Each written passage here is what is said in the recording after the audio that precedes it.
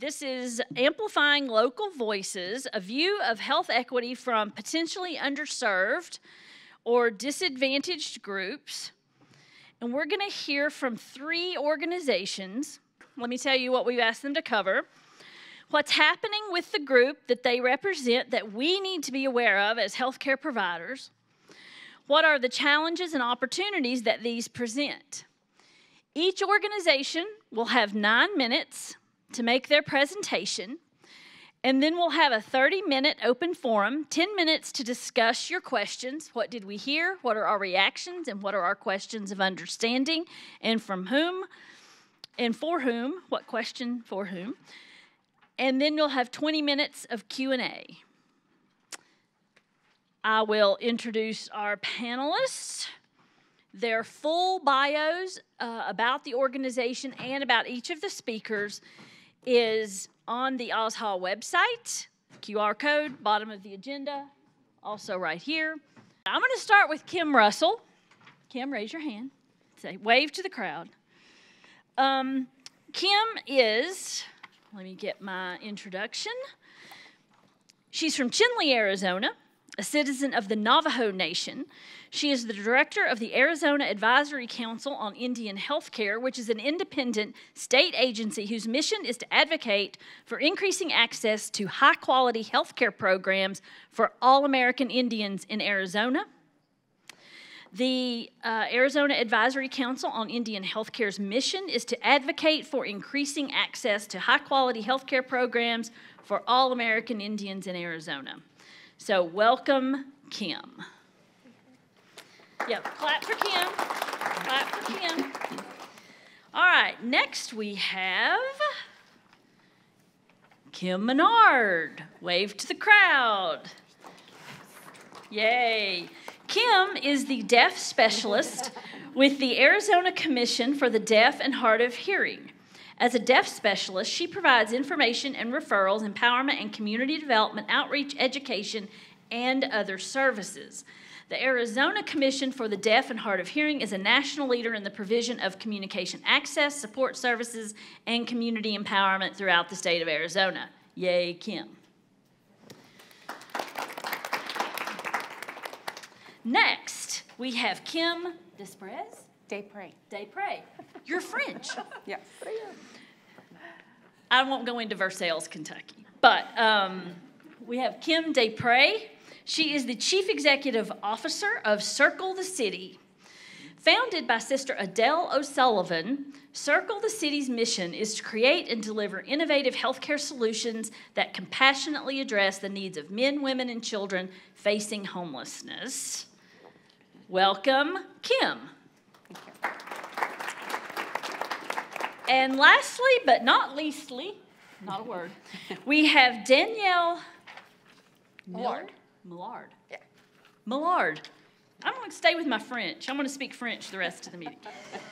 Um, Danielle Millard is a Circle the City board member. She brings a unique perspective. Having faced homelessness herself due to chronic health conditions, she understands firsthand the struggles many individuals in similar situations face.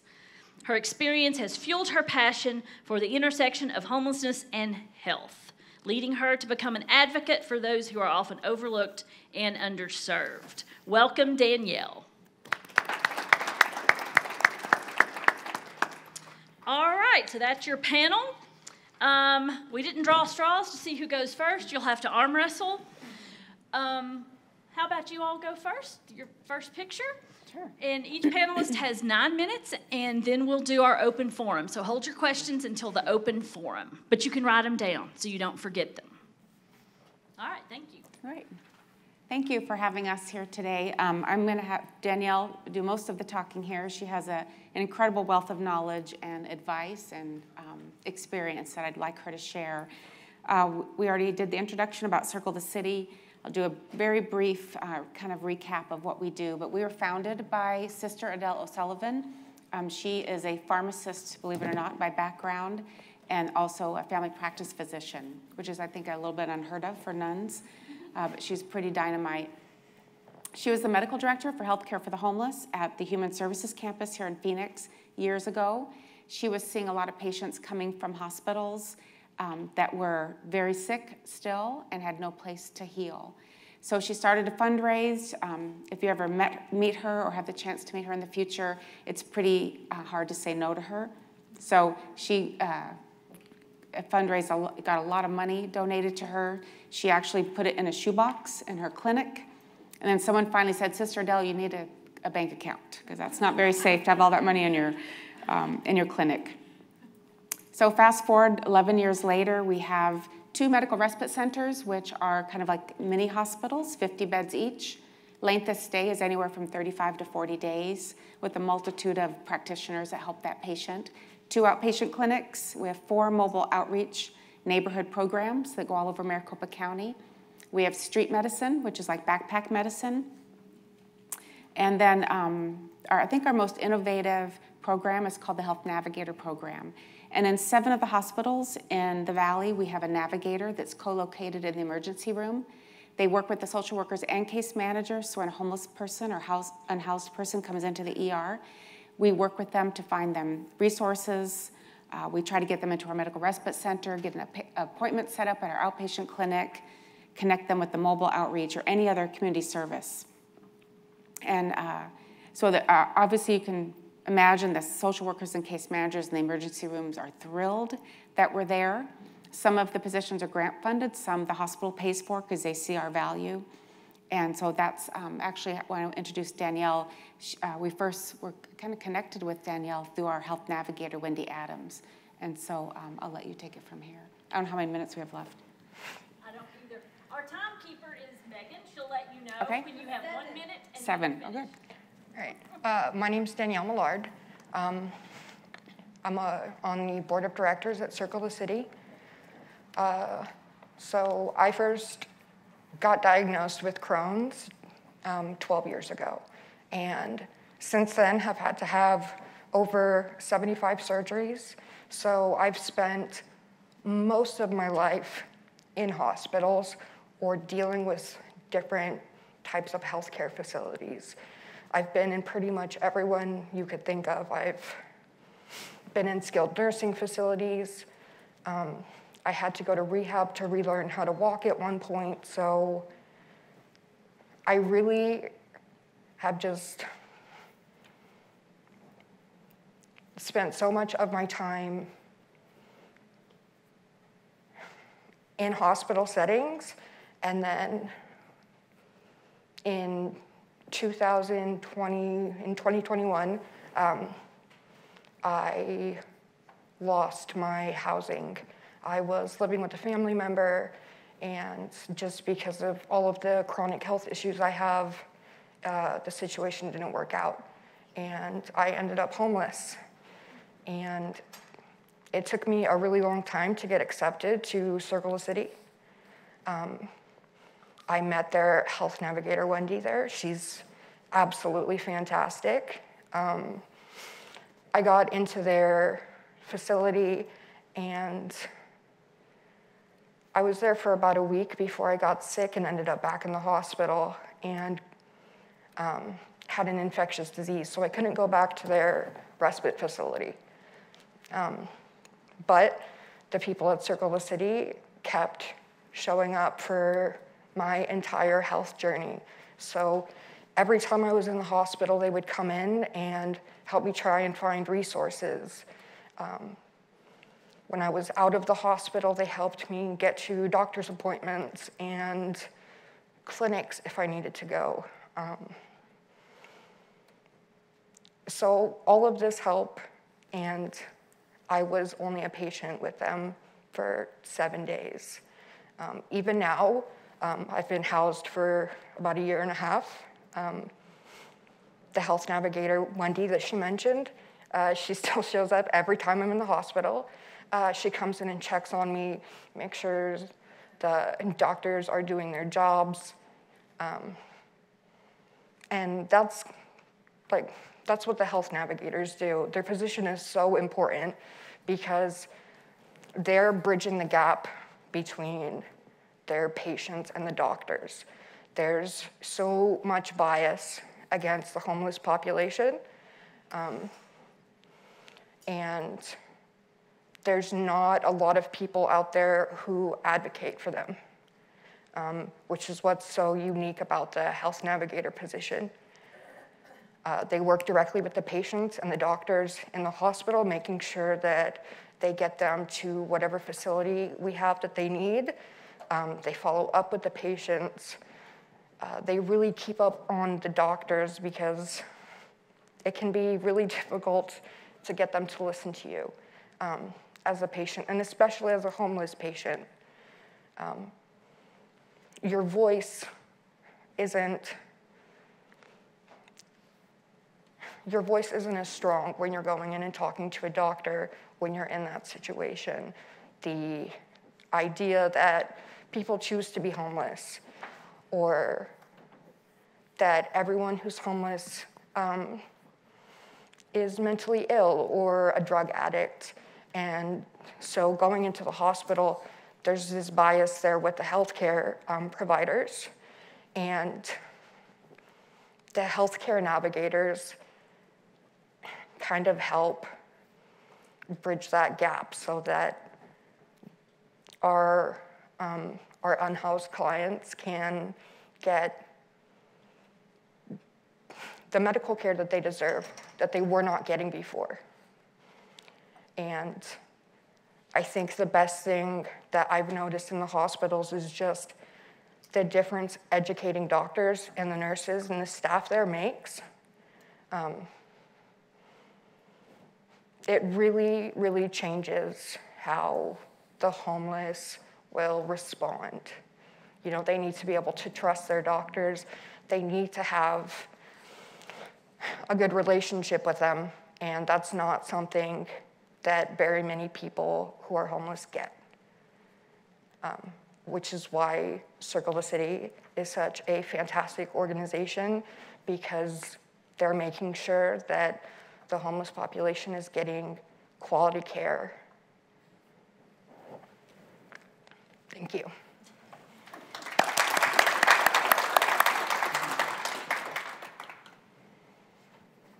All right, next, you can go, Kim. Certainly. Well, thank you, everybody, for allow, Kimberly. Kimberly? Y'all, Kim's up Kim's here. up here. Go ahead. So which one? Uh, Kimberly, uh, Which one's that? uh, Oh, Kimberly. We're all Kimberly. Russell? they're both Kimberly. Uh, Arizona Advisory Okay. Council on Indian Healthcare. Good morning, everybody. Um, Kim Russell, with the Arizona Advisory Council on Indian Healthcare. I am originally from Chinle, Arizona, on the Navajo Reservation, and I've been living in the valley for a little over maybe 25 years. So I, I, it was recently that I realized I'm more urban Indian than reservation-based um, Indian now. I never thought that would be, but I, I am. So I've been living here for quite a while and been a part of my state agency for about almost nine years. And a little bit about the agency that I'm a part of. Um, we do a lot of advocacy, so on the legislative level and also on the administrative level. Uh, we have, uh, uh, sorry, an advisory council that's appointed by the governor to serve as a, the advisory um, to, to myself. And um, every year we put together a legislative agenda. And so um, I present to my advisory council members topics that I'm aware of that the legislature and the governor's office are kind of working through. Um, so just to give you an example of at least this, this past session's, um, current session's priorities that we've been working on. Um, making, having a adult dental benefit for those persons on Medicaid. We've been working for that for many, many years. We've been a part of a lot of oral health legislation over the past seven, eight years that I've been a part of the advisory council. So that's one legislative priority that we're working on. Hopefully that gets passed this session. Um, another priority is anything having to do with missing and murdered Indigenous persons. Um, you probably have been hearing a lot of that in the news, right? Actually, very recently. Um, so, and that's the, that's a huge issue to unravel. It's it's just so big, right? And so, we're, we're any policies, any legislation that might impact that in a positive way is another issue that we're supporting. And um, I think those are probably the two priorities I wanted to share with you. But also in the past, we worked on legislation that would create an, a sixth area health education center. Um, that those area health education centers really uh, allow for communities to produce primary care providers. Um, I think most of us in the room um, experience the lack of those primary care providers within our community, and our, our, tribal leadership decided, you know, we need one that's specific to the Indian health system, both on and off reservation. So my leadership said, Kim, go create that sixth AHEC. So I was given marching orders, very specific marching orders to do so, and we had to open up statutes to do that. It took us three sessions to pass that law, but we got it passed. And so our agency actually is implementing that sixth um, American Indian Health Area Health Education Center. It is statewide. Um, I do want to mention that right now we only get state funding. We do not get the federal funding like the other AHECs do. We're working on being able to be um, on par with the other five AHECs because right now we, we don't get it, we don't, our funding is not the same. Um, and then um, we also, so those are just a few kind of policy items I could go on and on about some of our legislative policy, that work we do. And then anything administratively. So a lot of the work that I do in state government is really with the Arizona Department of Health Services and the Arizona Healthcare Cost Containment System. So um, being able to advocate when they uh, put together the administrative policies that it reflects our systems in a positive way. A lot of work in that space as well. Um, I want to maybe mention just a few things um, in terms of the, the grants that we have. Even to be able to um, apply for grants, we had to change our statute. And so that was kind of my first introduction as a new director to my agency about eight years ago. They, my leadership said update our statutes so we could do these certain things. One of them was to be able to accept funding because we didn't have that authority before. Um, so my, my, my leadership said, Kim, open up our statutes and figure out what we need to amend. I said, I'll do that. Went, went home and you know Googled statute. So I, it's kind of like I would just kind of, I always have the thing, you either sink or swim, right? And I'm always determined to swim. So one of the provisions that we were able to pass into law was the ability to accept grant funding. And so now we have different um, grants. And so we have, I believe, six or seven grants right now. Um, we are kind of like in a building stage as an agency because before then we didn't, we didn't have that ability. Um, even though we did have statutory authority to do that, we didn't jump right into getting grants. It took us another three, four years to create those um, relationships with our tribal communities to do that. So it, there was, you know, there was a lot of um, relationship building that we need to do before we even thought about getting a grant. I wanted to just mention just a few of our grants um, uh, in regards to just, I guess, one that we have is a CDC CCR grant. I believe we have two other partners in, in the state who has this particular grant, and it really works with community health workers. I think you know that's a new up and coming workforce, although it's at least in our in our tribal communities it's 60 years old. So it's not new for us. It's just that now there's there's a formal recognition or certification process in place to the Department of Health Services, and now we're talking about Medicaid reimbursement. I think the table I was at, we were talking about you know that sustainability. So we work with C- CHRs with that particular grant. And then we have a grant um, through the Department of Health Services, the Arizona Health Improvement Plan. Um, one of the things that we were talking about in our grant is just um, through COVID, we've been able to define health a little bit more broad, right? Um, so we're going to be doing a housing assessment. I think maybe pre-COVID, I don't know if we would have been able to justify our space and housing like we can do now, because how uh, uh, access to housing is a social indicator of health, right? Just um, this past week, uh, maybe two weeks now, uh, my, my town got flooded. The, um, the, the, the, the levees are up where the mountain, uh, the mountains near us, the snow started to melt and it, it broke, and so we got flooded out. So my, my aunt was part of that flood. But there was other persons who were even more um, impacted by the flood. So my thoughts are, you know, how do how how are they going? Are they going back to those homes? Right? Is that is that their only option is to go back to those homes? And for those that completely lost their homes, what what's going to happen to them? Um, for those where the only option is to go back to that home is it going to be safe for them to go back to? Right? So those are sort of things that I'm thinking, and I, I always tell my staff all the work that we do, it, we bring it back to policy development. So I think that's unique about our agency is that we're an advocate for um, creation of policy. So that, that's what I make sure that my staff understands is the work that we do, how can it come back to creating new policy or um, updating policies so that we can change that particular policy that, for instance, the, the flooding. So now I'm thinking about, okay, how do we start having conversations with the Department of Housing around this? Um, and then one more thing I wanted to mention, I think maybe my time will be up, is we're going to be doing a tribal epi forum. Um, I don't think we've ever had a tribal, tribal epi forum um, in our state with our tribal stakeholders ever. I don't think so. I know it's been an idea that's been floated for quite a while. So we'll be having that. And as tribes, we recognize that state government has a lot of data on our people. But I think that some, I think in some instances, we don't even know the data that they have on us.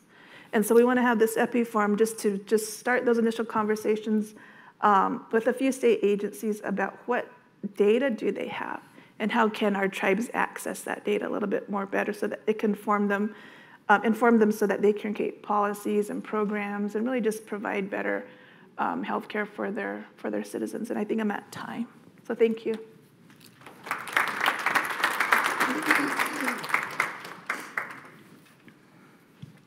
Okay, hello. My name is Kim, and the third Kim of the day, I think.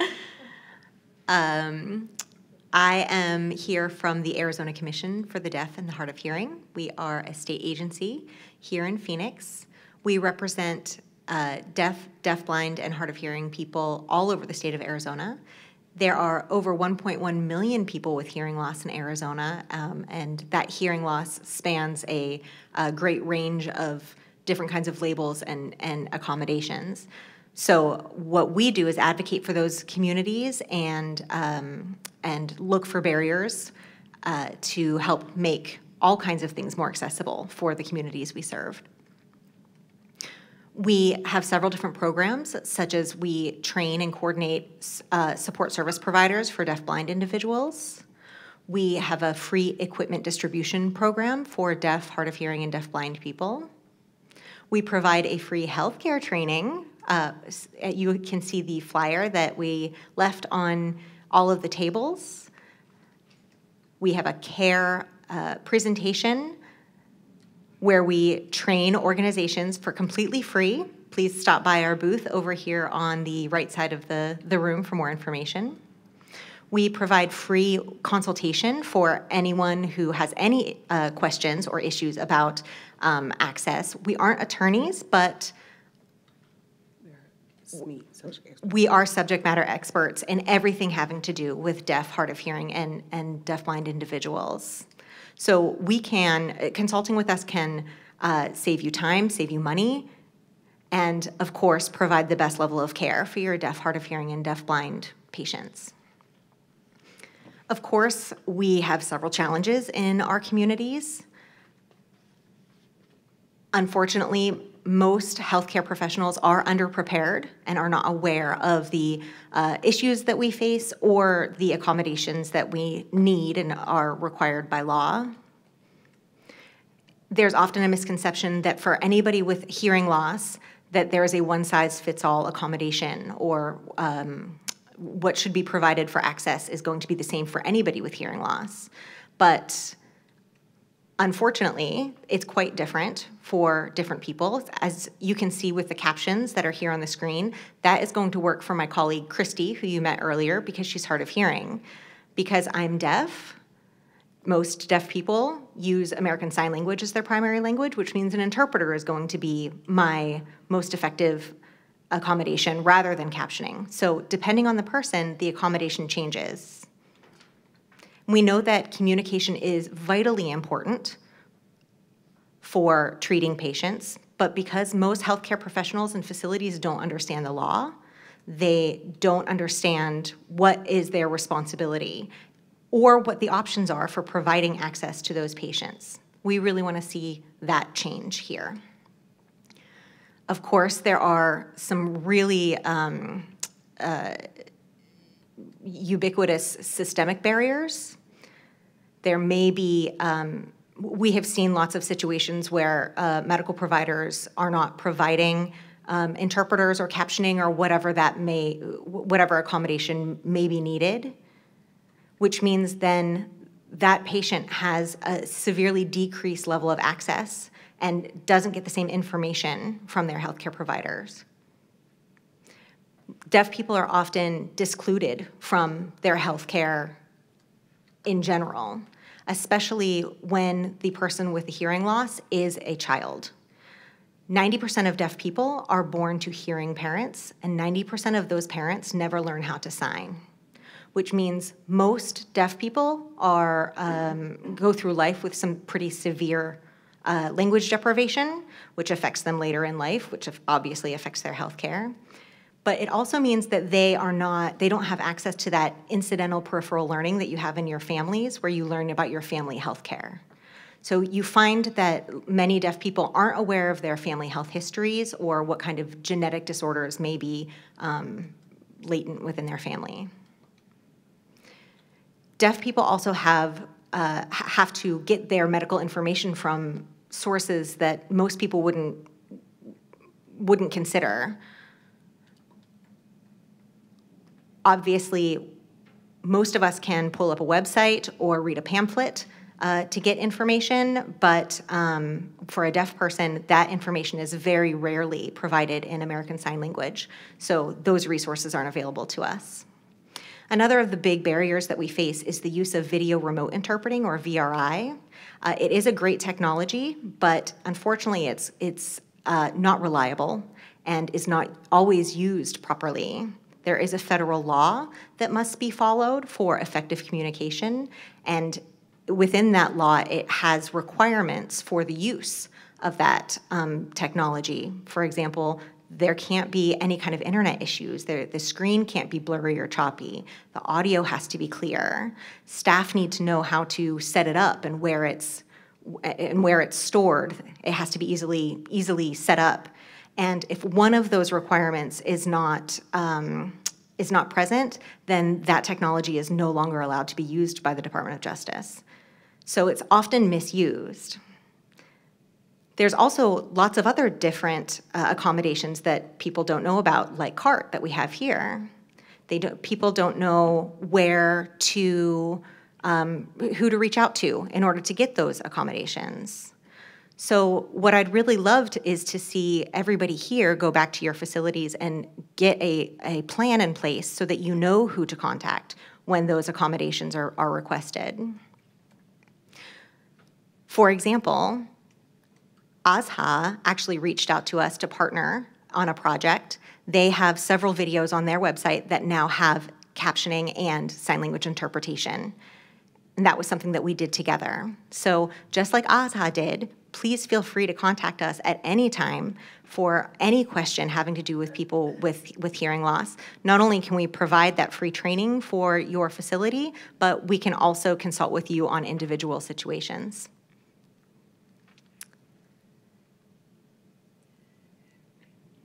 And then, unfortunately, because there is such this such a disparity for people people in the communities that we serve uh, when they're seeking health care, we get a lot of um, a lot of stories from people in the community. So, for example, Christy, who you met before, um, sh she mentioned that she is hard of hearing. She had to take her teenage daughter to the hospital, and even though she let them know that she was hard of hearing and asked them to take her take their mask down so that she could read their lips, um, the medical professionals refused and said, "We'll just talk directly to your daughter," which means Christy was pushed out of being able to be a mother in that situation and being involved in her own daughter's health care. As a deaf patient, um, I have seen multiple uh, multiple instances where VRI is used in a medical setting, and some some were effective, some were positive, but um, a lot of them aren't. Like for example, when um, there's one office that when I'm on the exam table and they bring VRI in, because of the way that the room is set up, I have to actually get up and move and sit in the like family chairs in the room rather than be on the exam table just to have communication. So it's important that, uh, sorry, excuse me, the, another issue is um, that many front desk reception areas are not aware of what they need to do in order to support people with hearing loss. There have been many times when I've gone into an appointment, have checked in, and the front desk receptionist absolutely knows that I can't hear. And I have sat in the waiting room while they called my name over and over again until they skipped my appointment. So what we don't want is deaf people missing out on their opportunity to, uh, deaf and hard of hearing people to miss out on their opportunity to get the health care that they need, which happens quite a bit.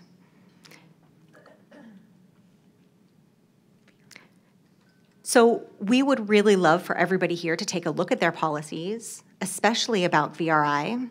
Uh, VRI is not appropriate for everyone. Obviously, if somebody has a vision issue, that's not going to be effective. It's not appropriate for children. If you have any kind of technological issues in your clinic or in your facility, I mean, can you imagine going to get healthcare that you need and not being able to communicate with anybody because the internet isn't strong enough or the screen isn't isn't producing a clear enough picture? That happens quite a bit.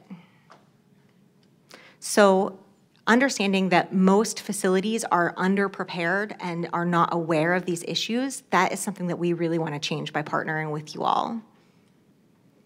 There is a lot of misconception and maybe even fear about treating patients with hearing loss. We want to change that too. So again, what we want to do is partner with you. We want to work with you and support you through uh, making whatever changes are necessary to provide the best health care for your patients. And so please reach out to us at any time. And that's my time. Thanks.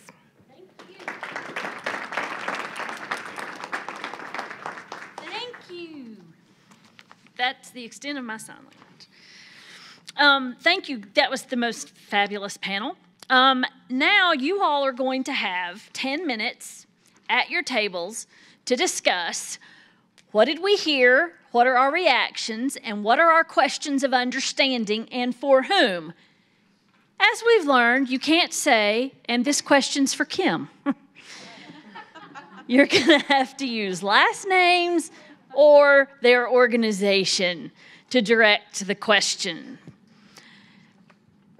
So, at your tables, and, and your questions are posted up here, you have 10 minutes to answer these questions, formulate your questions from your table, and then we'll do call outs to the panel. Right? Okay? You need a spokesperson and a facilitator. 10 minutes. Okay, if we can come back together, we'll begin our question and answer uh, session. So we're, I'm going to call out, like I did before, two table numbers. The first one will be ready to, the spokesperson will be ready to ask the question. The next table will get ready. We have two microphones. And remember to say who your question is for. Okay, table one followed by table seven. What is your question for our panel? So our question is for um, Kim Menard, and uh, we our discussion is in regards to is there a, a model they've seen in the community um, for the services they offer that is being done well in a standardized manner?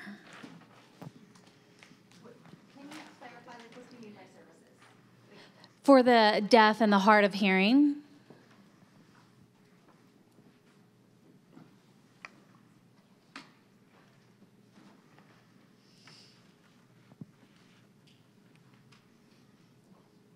Well, to answer your question, yes. We have hospitals that are providing sign language interpreters. Typically, an in-person interpreter is effective and the successful way to communicate. Also, CART, keep in mind, that's a resource that can be used. When I was outlining steps to follow, we have auxiliary aids as well that can be used. Again, it's important that you ask the patient, what's the best accommodation for them? We shouldn't be making the decisions for them. We have to ask them, what do you need? Do you need an American Sign Language interpreter? Do you need a CART provider? Do you need an assistive uh, listening device? What are auxiliary aids that you need for your effective communication? And Kim, if I could, just Yes. a follow-up to clarify. Are you aware, or perhaps our Deputy Director Carmen Greensmith would be aware of any hospitals that are doing it right, that are role models for all of the other hospitals?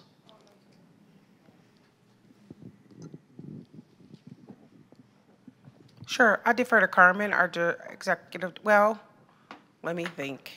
Uh, Yes, please, Carmen. Microphone? The microphone?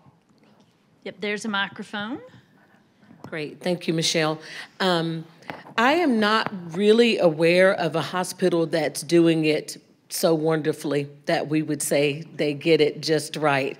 But we have had several hospitals that have allowed us in to do our training for them, and they in turn have followed up with uh, policy changes and processes for their staff. Oftentimes, it's the frontline staff where these requests are made. So the things for the policymakers to do is to have that in place, to have agreements with interpreter, interpreting um, coordination agencies that can already be on contract with the hospitals so that your frontline people know who to call, as well as any of your departments that might have advocacy, um, advocates in those departments, to know those policies, to know who those partners are and who your contractors are. That is your best possible practice to have those things in place before you need them for CART services and interpreting services. Also, if you want to know if someone is licensed, you can always go to our website, acdhh.org, and you can look for that list, list of licensed interpreters, as well as contact us to get the name of interpreting agencies, and they can provide that coordination service for you. And you've spoken with them in advance to know what your costs will be. Oftentimes, that's the barrier, but if you're familiar with the ADA, you can find your guidelines there as well. And we'll be happy to answer any of your questions also. Hope that helps. Did that answer your question, table one? Yes, thank you. And they also have a table set up over here for lunch and break. All right, table number seven and then table number three. So we, this is for Circle the City. What seven hospitals are your nurse navigators in? So uh, they're actually like um, community health workers, patient navigators, and not nurses. I'll clarify that. Okay, and I, okay, I just turned over 60, so bear with me. We have um, uh, Banner University Medical Center, Banner Thunderbird, Banner Desert, Banner Estrella, John C. Lincoln North Mountain. That's how, I'm sure it's called something different now, right, Sue? Honor Health um, on North Mountain, and um, St. Joe's, and Valleywise. How many is that? Seven? Okay, seven. Woo-hoo. Yeah.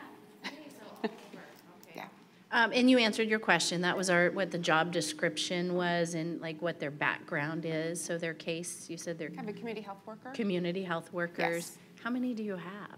Do you know? Um, uh, seven, so seven right now. Okay, so just one for each? One for each, yes. Facility. And it's not a billable service, you know, with the FQHC. So we try very hard to get the hospital to help pay. Not all of them do. Um, some are really good about it. And um, otherwise, we try to get a grant to cover that That's position. where, that was our Yeah. other question is how that funding is, is tied in. But we keep data, of, you know, how many touch points, uh, where we refer them. Uh, we, we have shown that we keep, uh, we have decreased the hospital stay, length of stay, and also decreased the ER visits.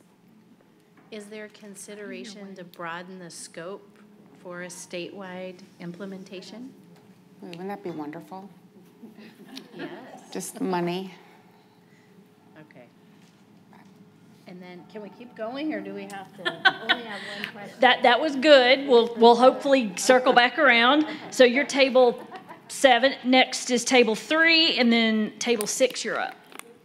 Hi, um, you kind of started to ask the question. We were wondering the footprint in rural Arizona for Circle the City and how we could get a navigator at a rural facility. Yeah, I think, I mean, I'm happy to share some of the data that we have. Um, I'll leave my contact information if you want to email me, and I can show you the data for a few of the hospitals that we have been collecting it on. Um, I think it's kind of a selling, you have to really sell it to hospital administration that this is what you're going to get out of it. Um, I think almost maybe propose a pilot, you know, for 90 days, gather the data, show what we've been able to accomplish, um, and kind of go from there.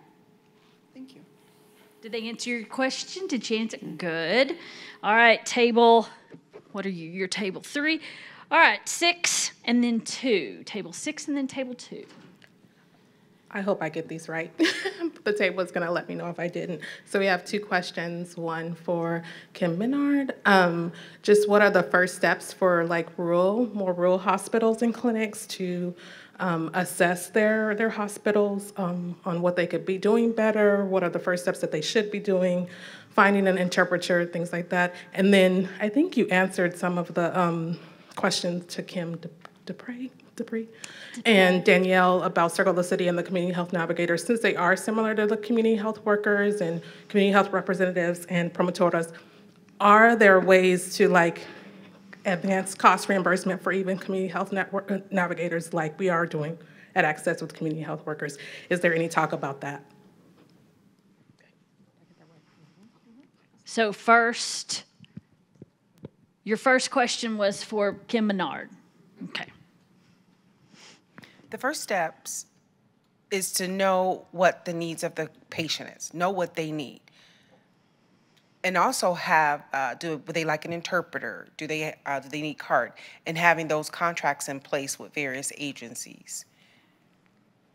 Ensuring that all communication is accessible and that it's effective for the patient's needs. Now, uh, speaking of interpreters and VRI, I know that being in a rural community, the availability of interpreters may not be the best. So we just want to ensure that the video remote interpreting services that you use is at its best standards. Again, we have a backup plan ready, have interpreters ready that you can reach out and contact. Also, with video remote interpreting, be sure that the interpreter is licensed as well again, contact us. We're here to help you. We can help you research that and get those needs met. And again, in rural areas, it may not be as uh, effective as in urban areas, but yes, we want to ensure that you have effective communication and successful communication with your patients. Great. Did she answer your question, table six? Okay. Did you did you have a question for them or okay, your second question for Circle the City. Um so I'll take this one. Um, Circle City is very limited to the fact that like we're here from Maricopa County. Um, so we can't really do statewide programs. Um, but that doesn't mean that your hospitals can't like model off of our health navigators, find programs like this. Um, you know, just get, start getting people involved. Let them know that this is going to like add value to your hospital. It's going to be taking care of a very specific group of people and you really is just yeah it's it's starting your programs yourself you know um, and having people who are excited about it and passionate about it because it's not going to be easy to get it going. Um, there are a lot of unique um, a lot of unique healthcare needs for the homeless. And so it's educating people and trying to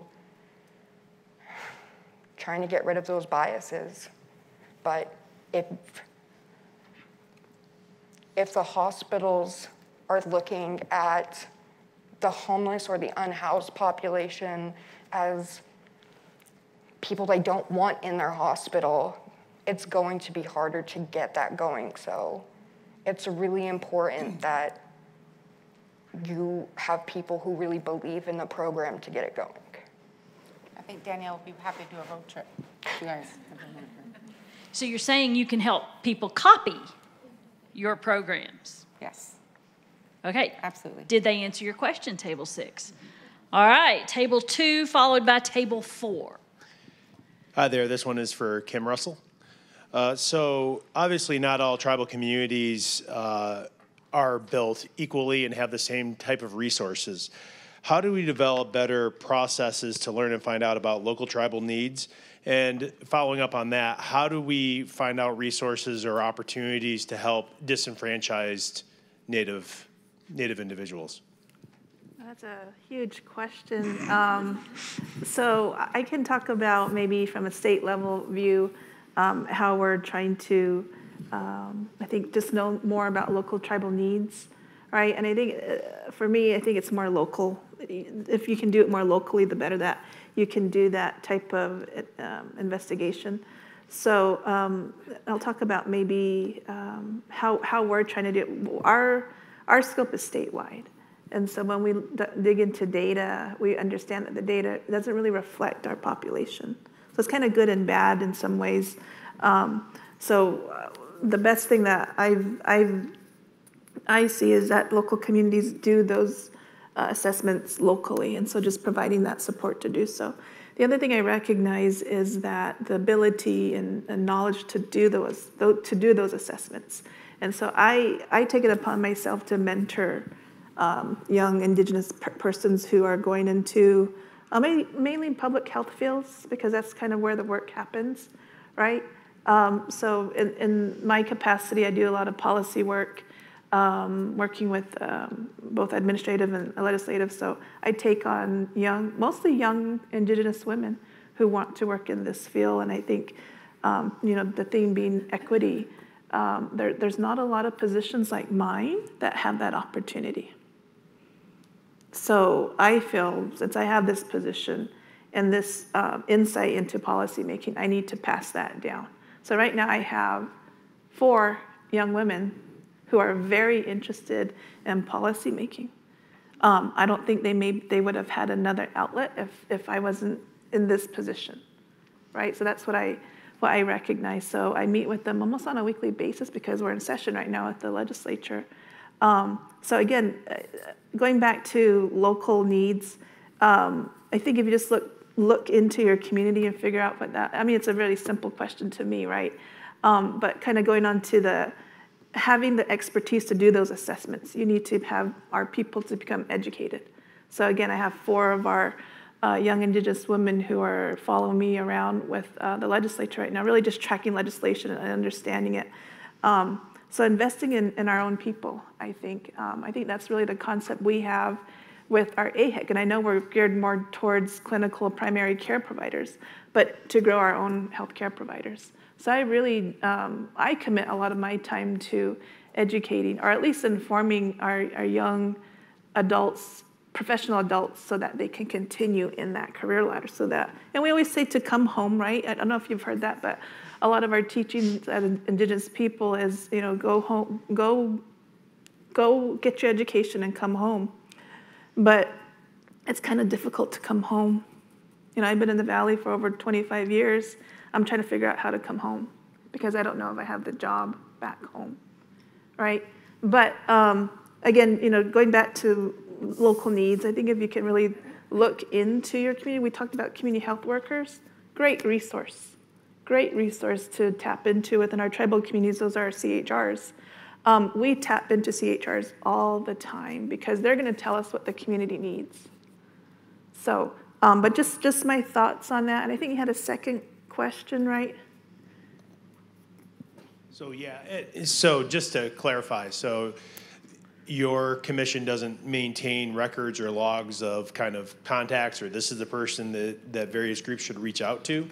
So our, our normal, usual stakeholders are going to be tribal health directors. for the most part. So that's usually our primary Okay. point of contact is our tribal health directors, and each tribe is going to be different. Um, we call them tribal health directors, but they're not very, they're a little bit different than county health departments, right? I think county health departments have a little bit more authority rather than um, tribal health departments. So they, we call them similar names, but their authority is a little bit different. Um, again, the infrastructure is different, the resource investment is different, so they're, they're a little bit different. But for the work that we do, it's usually those tribal health directors and then also our urban Indian health programs. We have four in our state, so for those that are off reservation, we have two here in the city and then one in Tucson and then um, and uh, Flagstaff, and then we have our IHS. So that I just kind of described that ITU system. Um, that's IHS, tribal, and then urban. And do you maintain those lists? Because, you know, thinking about my case, co- my case managers trying to figure out what resources are available, I mean, I'll have, I'll have patients flown in for, you know, four hours, five hours in various directions. You know, we won't have the nearby relationships or even really know how to start with a three-day admission. So, I mean, are there references or materials you have at your, your level, the commission level, to help us do our job a little more effectively or easier? Right, I think that's the challenge because um, just for example, I'll, I'll take my, my family. Um, we live in the center of my reservation, so any which way off the reservation is at least an hour and a half. So for hospital care, we either go to uh, Farmington, Flagstaff, and sometimes here in the valley. So um, when that happens, there's at least for for my example, we that con- that connection's lost. It really is. Um, there isn't that link that was kind of described with Circle the City. I'll I don't think there is. There's some to an extent, but I'll take my uh, my my family. There was no link back when my mother was flown here to Gilbert, none whatsoever.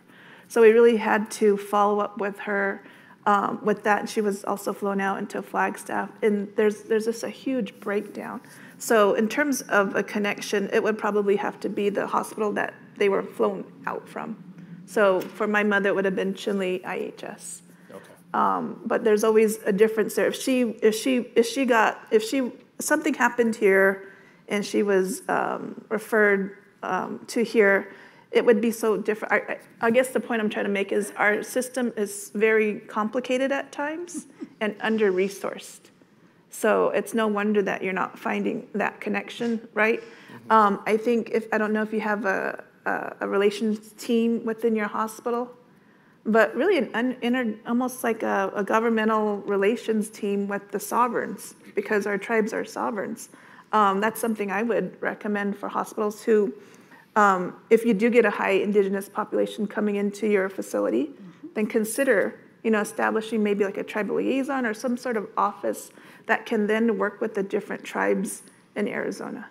But that, a recommendation, I guess. And I don't know if there's a model of that already- already um, a, a hospital who, who does that. That's not IHS or tribal, but that, that might be something to consider. Okay, thank you. Where, what hospital or where, what do you represent? Can you use the microphone, please? Uh, We're, uh, this is the question from the table. So we have, you know, someone from Holbrook area, Winslow. Um, I'm from Canyon Vista Medical Center, um, and you're with the Gila River. So it, it's a question from the table, not necessarily just from me. And All right, um, the question you. was, what hospital is he with? Yes, thank you. Table four followed by table eight. Okay, um, good afternoon or good morning, everyone. This question is for Kim Menard. Um, Kim, it's a two-part question. Um, at Valleywise Health, where I work, we have a large refugee population. What uh, special needs or services um, are available for individuals who speak, or excuse me, who use sign language other than American Sign Language?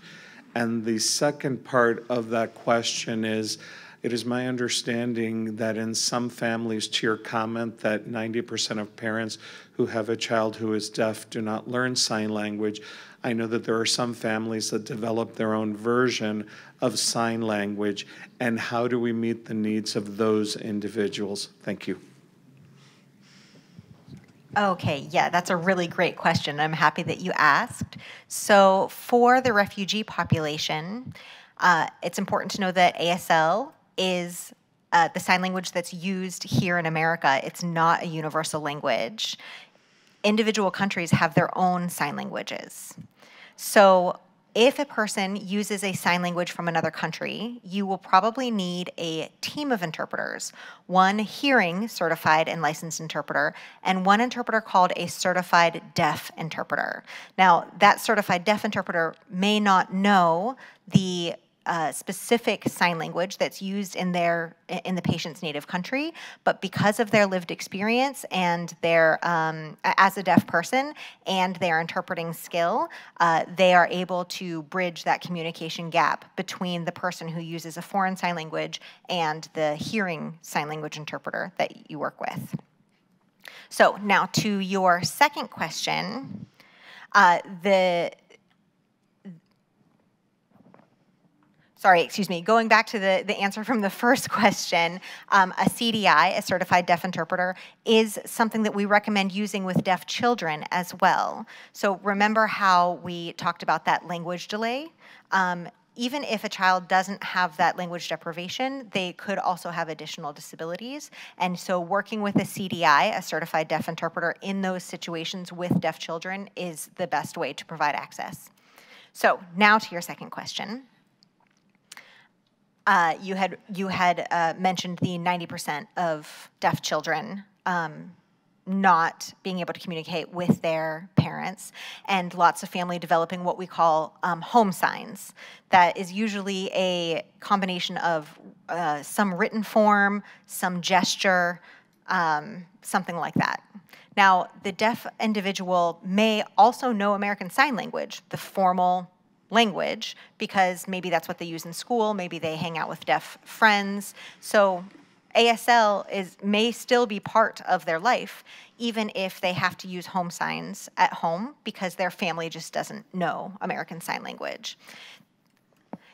If you come into a situation where the deaf individual really only has access to those home signs, again, a certified deaf interpreter is going to be your language specialist that will bridge that gap.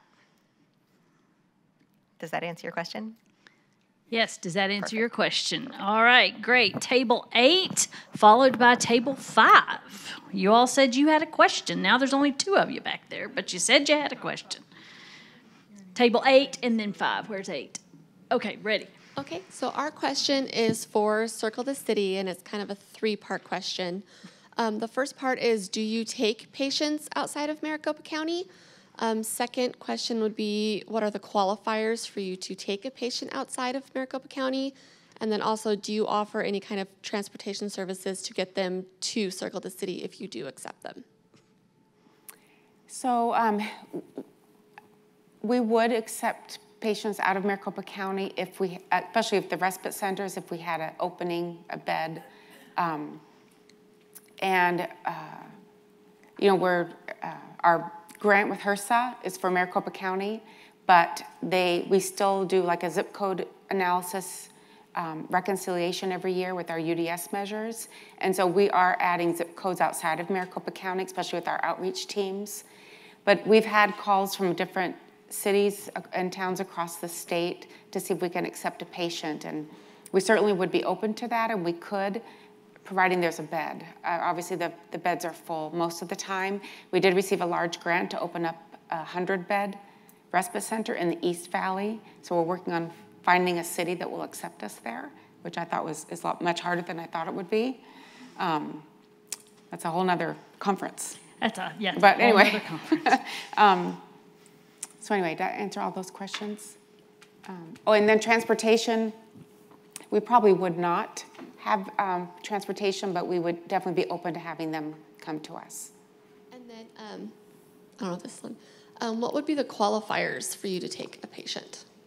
So um, there are, uh, for our respite centers, it's, it's an acute medical illness or injury. We take the sickest of the sick because we only have 100 beds total right now. And so uh, very sick homeless patients, they have to be independent in their ADLs. Um, because the, the, it's kind of a dormitory type setting and they have to walk or wheel down the hallway to the clinic. So they have to be able to um, get in the shower, get in the bathroom, and get to the clinic. So, um, so anyway, I think that's for the most part. Yeah, that answered it. Thank you. Thank you, Table 8. Table 5 will be our last question. I um, believe all of our questions were answered. All of your questions were Thank you. answered. Thank you. Thank you. Um, I would like this half of the room to give a hearing round of applause, and I would like this half of the room to give a sign language round of applause.